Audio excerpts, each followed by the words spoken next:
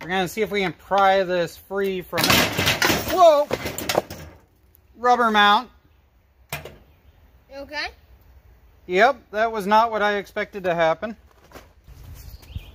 So that right there highlights the age-old question that when I had one of these in the background of a video and we talked about it after an auction, I ended up with email after email after private message from you guys, the subscribers. On one of these Predator 4000 generators, well, 32 to 4000 generators, is the Predator in it a tapered shaft or is it a straight shaft Predator? There seems to be a lot of argument. There seems to be a lot of curiosity and question about it. So that's what we're doing today. This was donated from a friend. It is a dead, dead door nail. It's been used for a few parts and stuff like that. It's missing the exhaust. It's missing the carburetor, a few other things. But at the end of the day, the generator side is still attached to it because it fried. And we're going to find out whether it's a tapered shaft or a straight shaft that you could throw into your go-kart build. Let's get started. Now, with it being a Predator, I'm fully expecting most of the stuff to be 10 millimeters and 8 millimeter. So we're going to go and grab our little Kymo here, which has been really great to work with. And we've got our ratchet. And just kind of see if we can figure out how to take it apart and find out what's what.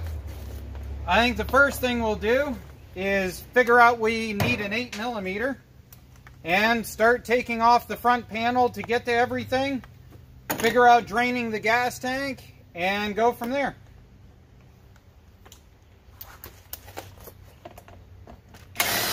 There we go. John, while I go grab a container, can you start pulling the bolts off the front? I left the Kimo over there. Oh, this? Yep.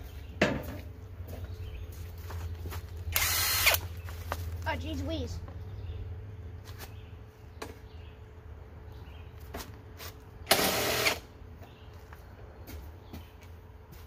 some kind of horned bee that just flew by. Okay.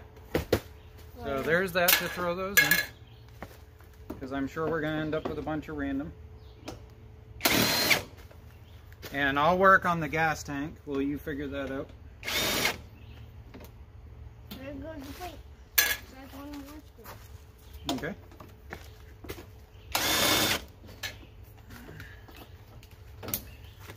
So it looks as if the gas tank goes this way out of the chassis. So I'm to pull these out and see if this plate comes out like it looks like it does.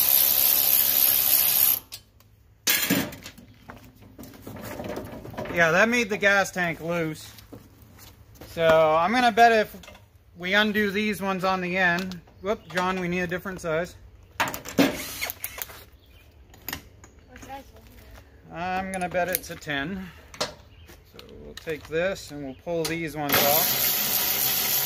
So on the top of this tank, there are four rubber grommets in the corner.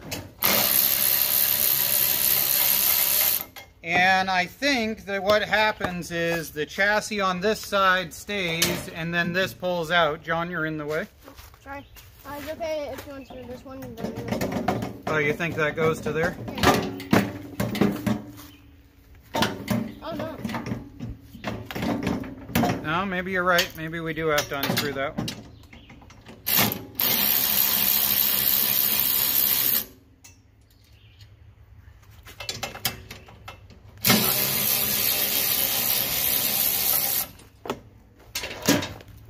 Yep, this drops out. Okay, so that piece came off.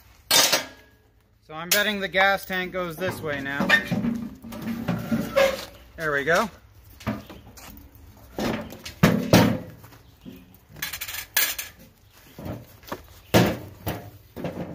Okay. So, let's see here. Uh, all the wiring and none this comes off. Yeah, it looks like there's tons of wiring connected to that before it'll go that way. What if I push it? There it goes. Alright, so there's a bunch of wiring on the back of there that we could bother caring about, but the real reality is we don't need any of it. So, we're just to see if we can slice these connections. I'm to grab a pair of cutters.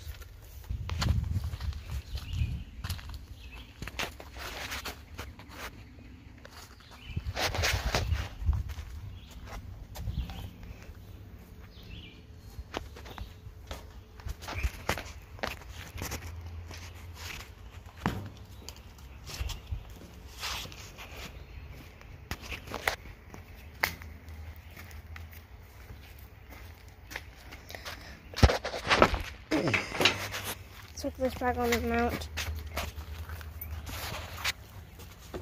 Okay, so what we're interested in, and the point of this video, is that if we take this piece off, is that going to be a tapered shaft in there, or is it going to be a straight shaft? Now, the one thing that we can definitely see right now is that you can't see any bolts there or there which means that we've got to go through the mounting that's inside this.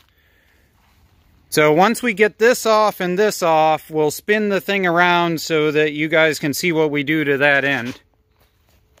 So let's put you in here and position you.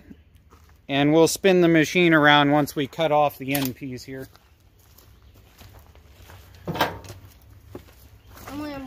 Okay, go ahead.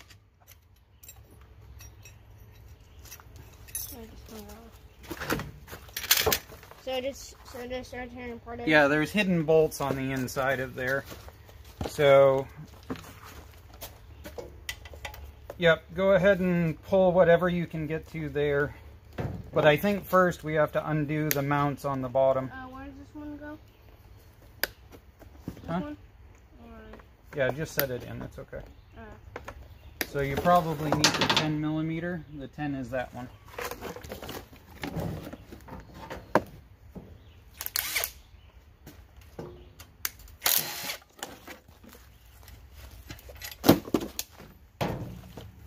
That's a long screw. Alright, why don't we spin it around so that they can see what you're doing. Yep. And then you can continue to try and take it apart. So, spin this around. See, somebody's been in here definitely. All the throttle connections are all missing. Okay. So, John, I would say that probably getting these mounts off is the best bet and I'll see if I can figure out what to do about those bottom ones because these look like they're quite significantly bigger.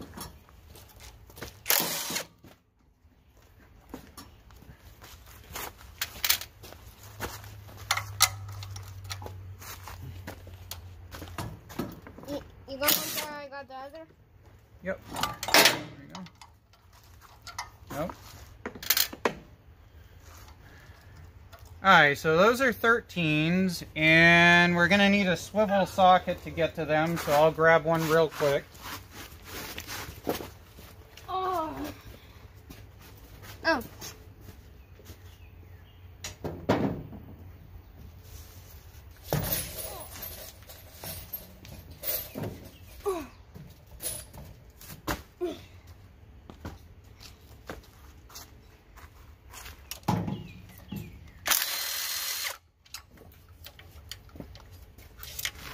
There's a long screw. Okay. Uh-oh. What did I do with the socket? Mm. Did you eat the socket? There it is, that one. Yes, the one down there that I apparently forgot was there. Okay, there we go. So, go ahead and do that with the impact.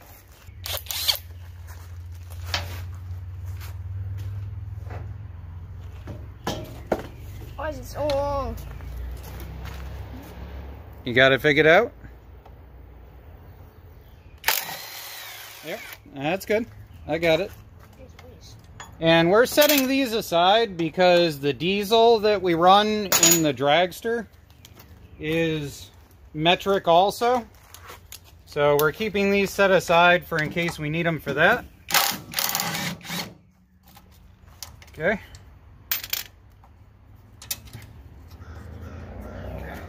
So at this point, John, why don't you find, let's grab an 8 millimeter for you and have you do the two red end cap ones. Yep, do the two end caps.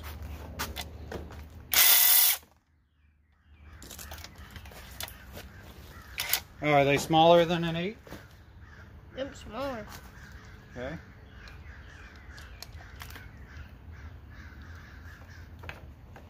Let's see if they're a 6.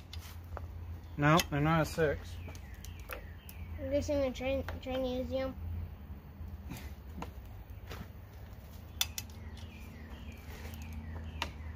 Bigger. So if it's a 7, yep. So it's a 7. I'm actually missing a 7, but a 9/32nds, as a friend told me, works as a 7. There you go. Try that.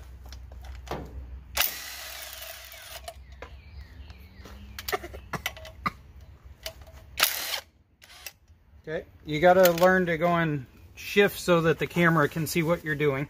Oh, okay. But all right, we are gonna grab a screwdriver and try thumping that and see if it'll come loose because that's not moving. Okay, so we're gonna give that back panel just a little tap. Whoop, there it goes.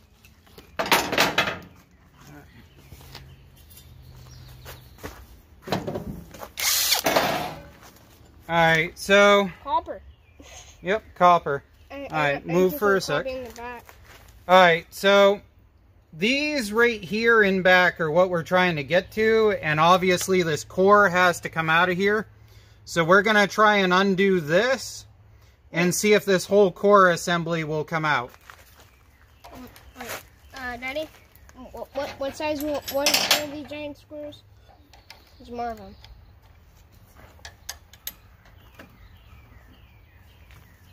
Okay, that's a 12, so see if that'll come out. There you go. Will fit.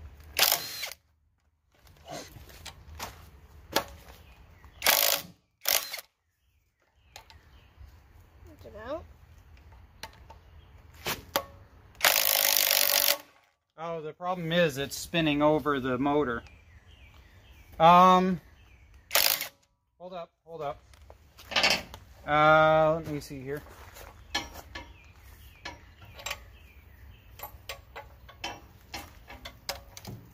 Okay.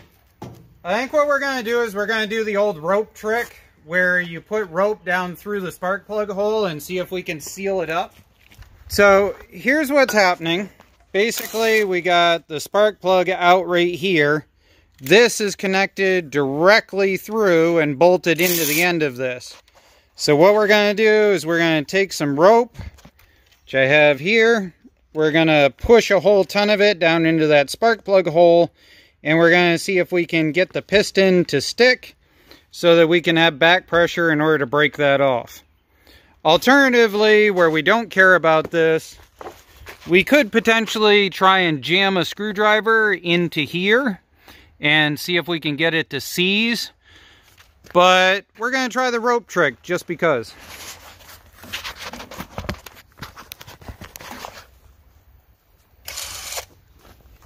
What in the world? That's tiny.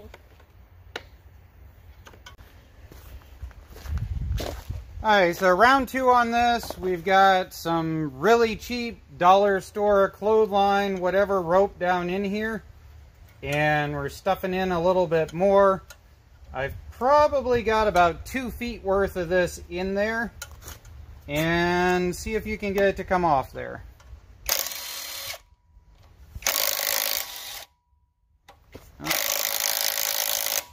Okay, let me try. I'm like, try it. Okay, step out.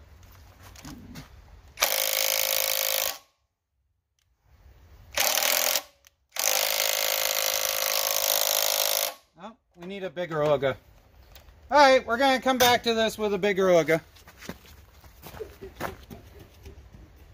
Alright, let's try this again with a slightly bigger Ooga Ooga. This is a Aircat. It's uh, a 1431. It's pretty heavy.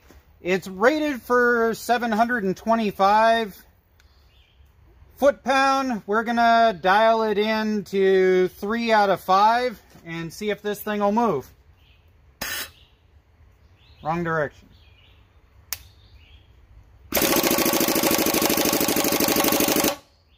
Okay.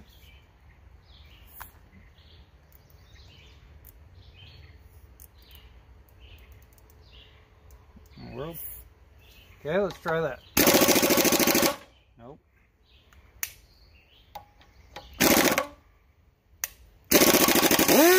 There it goes. So there's that. See if we can figure out the rest. So at this point, we can see that we've got a couple mounting bolts there. John's going to undo the last of the end of the generator. And then we've got one here and one on the other side to undo. And at that point, we should be able to hammer this piece off and then get to the ones on the inside of there. Well, now that we got everything in the back end detached, we're going to see if we can pry this free from, whoa, rubber mount. Okay. Yep, that was not what I expected to happen. Okay, well it came free from the rubber mount. There. Alright, so let's see if we can knock this back end off of here now.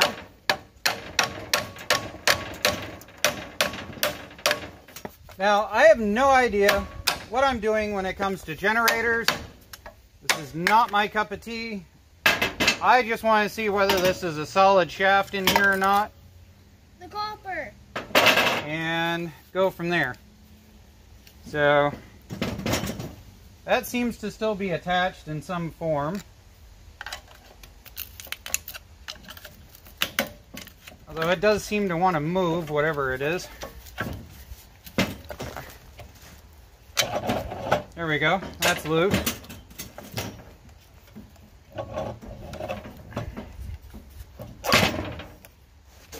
Okay.